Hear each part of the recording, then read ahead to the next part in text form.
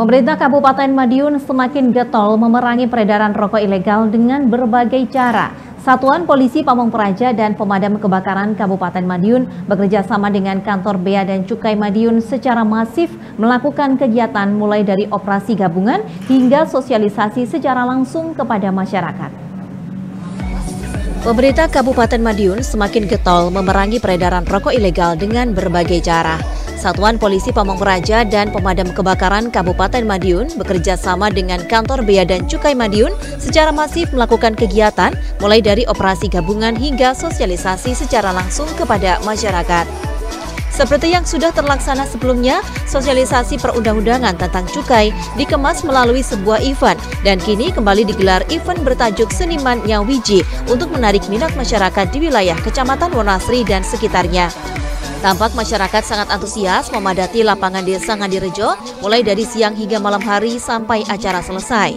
Kegiatan tersebut digelar bertujuan dalam rangka sosialisasi perundang-undangan tentang cukai dan kampanye untuk stop rokok ilegal dan gempur rokok ilegal. Kegiatan sosialisasi yang dilakukan melalui sebuah event dinilai lebih maksimal lantaran dapat menghadirkan masyarakat banyak sehingga petugas dari Bea Cukai Madiun bisa memberikan informasi berkaitan ciri-ciri rokok ilegal dan cara mengenalinya.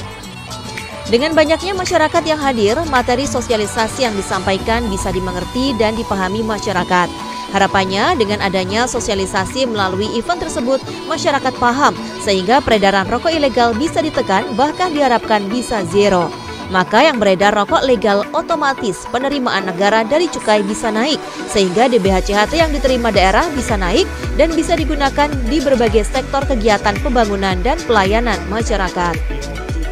Jadi maksud dan tujuan kegiatan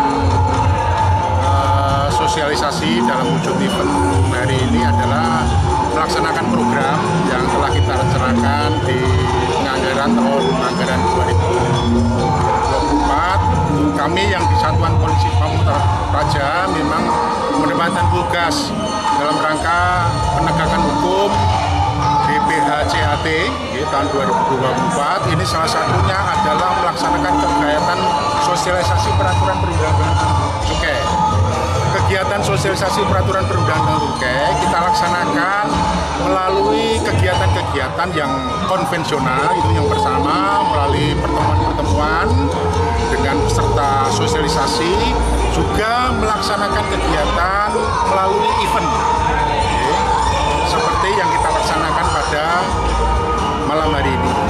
Dalam sosialisasi dan kampanye gempur rokok ilegal kali ini juga disampaikan beberapa materi berkaitan dengan jenis-jenis barang kena cukai, utamanya ciri-ciri rokok ilegal hingga manfaat jika masyarakat berpartisipasi dalam memerangi peredaran rokok ilegal.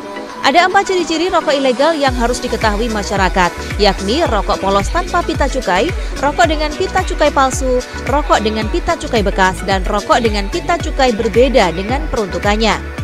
Untuk itu, masyarakat bisa tahu dulu kriteria pita cukai yang asli dengan yang palsu atau yang bekas, sehingga dapat mengantisipasi peredarannya. Selain rokok ilegal merugikan negara hingga kesehatan perokok, pengedar rokok ilegal bakal menerima sanksi administrasi, sanksi pidana antara 2 sampai 8 tahun dan denda yang nilainya 2 sampai 10 kali nilai cukai yang diilegalkan. Perlu diwaspadai juga modusnya sekarang lewat jual beli online. Jadi kami dari kantor Bea Cukai Madiun pada hari ini malam ini bekerja sama dengan uh, Satpol PP Kabupaten Madiun menjalankan kegiatan sosialisasi uh, gempur rokok ilegal yang satu tujuannya sudah disampaikan adalah untuk mengurangi peredaran dari rokok ilegal. Jadi uh, selain kegiatan sosialisasi tadi juga disampaikan kegiatan penegakan hukum terkait dengan pemberantasan BKJ ilegal juga kita lakukan.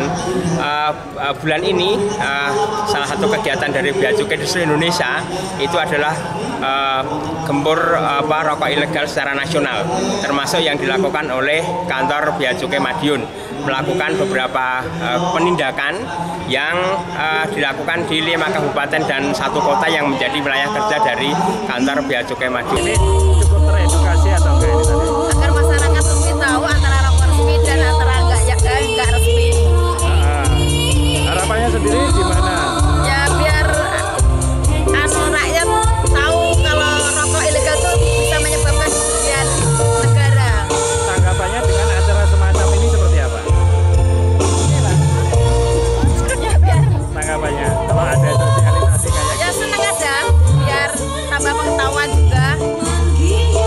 Dengan adanya sosialisasi ini diharapkan masyarakat mengetahui apa itu rokok ilegal beserta ciri-cirinya dan bisa membantu petugas memberantas peredaran rokok ilegal sehingga penerimaan daerah dari sektor cukai tembakau semakin optimal. Ke Kalimantan naik kapal, berangkatnya dari Surabaya. Ayo gempur rokok ilegal demi Indonesia yang makin jaya. Tim Liputan, CTV, Madiun.